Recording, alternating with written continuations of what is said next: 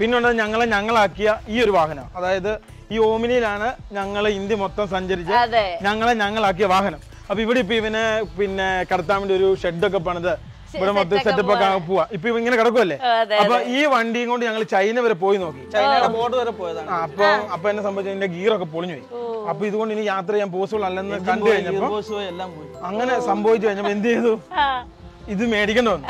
അങ്ങനെയാണ് ഇന്ദ്ര അന്ന് കൊറോണ ടൈമിലാ അപ്പം വേണ്ടി വണ്ടി മാത്രം അന്ന് കൊടുക്കുന്നുണ്ടായിരുന്നു അപ്പൊ അത്. അതെടുത്ത്. സത്യം പറഞ്ഞ ഒമ്മിനെയൊക്കെ എനിക്ക് പേടിയുണ്ട്. കാരണം ഈ പിള്ളേരെ പിടിക്കാൻ പറഞ്ഞ വണ്ടി എന്നൊക്കെ പറഞ്ഞ പേടിപ്പിക്കും. പക്ഷെ കുറെ ആൾക്കാർ രക്ഷപ്പെട്ടത് കുറെ ആൾക്കാർ ഉപജീവന മാർഗം ഒക്കെയാണ് ഈ ഓമിനി എന്ന് പറഞ്ഞാൽ ഇപ്പോഴും എല്ലാവരും ഉപജീവനമാണ് ഈ വണ്ടി. ഇരുപത്തി എട്ടായിരം രൂപയ്ക്ക് മേടിച്ച. ഇരുപത്തെട്ടായിരം രൂപയ്ക്ക് മേടിച്ച ഇരുപത്തെട്ടായിരം രൂപയ്ക്ക് മേടിച്ച് ഈ വണ്ടി വെച്ചിട്ടാണ് ഇത് മൊത്തം. ഉണ്ടാക്കിയത്. ഈ വണ്ടി കൊണ്ട് ഒരു ഞങ്ങൾ ടി ടി എന്ന് വിളിക്കുന്ന ഒരു ട്രാവലർ ഉണ്ട്. അതുണ്ടാക്കി. അതുകൊണ്ട് പോലീസുകാരും പാർട്ടി ഞങ്ങൾക്ക് കിട്ടി അപ്പൊ അത് അത് കഴിഞ്ഞ് ഞങ്ങൾ ഇത് വാങ്ങിച്ചു. അപ്പൊ അങ്ങനെയാണ് ഈ വാഹനം കൊണ്ട് തന്നെയാണ് ഞങ്ങൾ എല്ലാം സംഭവിച്ചത് സമ്പാദിച്ചത്. ഇതെന്താണിത്?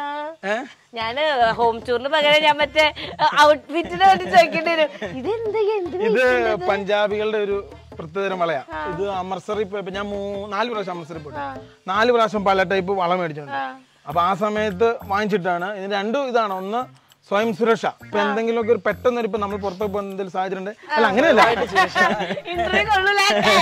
അല്ല അപ്പൊ അങ്ങനെ സാഹചര്യം ഉണ്ടായി കഴിഞ്ഞാൽ ഉപയോഗിക്കാം. പിന്നെ അഴുക്കുകളൊന്നും അടിക്കില്ല എന്നുള്ളൊരു നോർത്ത് ഇന്ത്യൻ വിശ്വാസം. പക്ഷെ നല്ല വെയിറ്റ് ഉണ്ട്. ഒരു കണക്കിന് ഏകദേശം ഒരു അര കിലോ വരും ചേച്ചി ഇട്ട് നോക്കിയതാ. അല്ല കൈ പിടിച്ചൊന്ന് കേസ് വരും. അതുകൊണ്ടാണ് ഇട്ട് കൊടുത്തത്. ഓക്കെ. ആ അപ്പൊ അതാണ് ഈ വളയുടെ ഉദ്ദേശം എന്ന് പറഞ്ഞു കഴിഞ്ഞാൽ. ഓക്കെ അപ്പൊ ഇനി നമുക്ക് വീടിനകത്ത് പോവാം. പുറത്തത്തെ ഇവരുടെ വീട് ചേച്ചിക്ക് പുറത്തേക്ക് കൂടുതൽ താല്പര്യം ആകുവാണ്. കാരണം വെയിലടിക്കുന്നില്ലല്ലോ മേക്കപ്പ് പോയാലോ? അതൊന്നും പറയാൻ പാടില്ല. അതൊക്കെ നമ്മൾ ബി ടി എസ് ആണ്. അപ്പൊ നമുക്ക് ഇനി അകത്ത് കയറാം. നല്ല വെയിലുണ്ട്.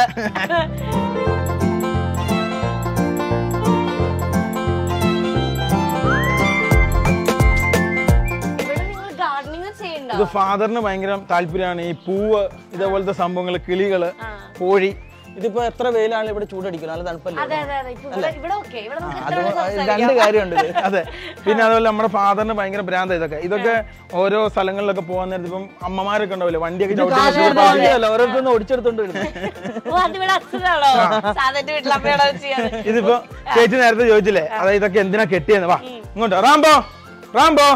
ബാ ബാ ബാ ബാ ഇതാണ് ഞങ്ങളുടെ റാംബോ. അത് അത് കാണിക്കണ്ട. അത് വേണ്ട. അല്ല അത് വേണ്ട. ഇല്ല കടിക്കൂല. കടിക്കണ്ട. ഞാൻ അടുത്തേക്ക് വരില്ല ഹായ് റാംബോ യെസ് ഇവനാണ് ഞങ്ങളുടെ റാംബോ. അപ്പൊ ഇവന് ഞങ്ങളുടെ കയ്യിൽ നിന്ന് വിട്ടുപോയി കഴിഞ്ഞാൽ ഒന്നര കിലോമീറ്റർ കഴിഞ്ഞ് കിട്ടത്തു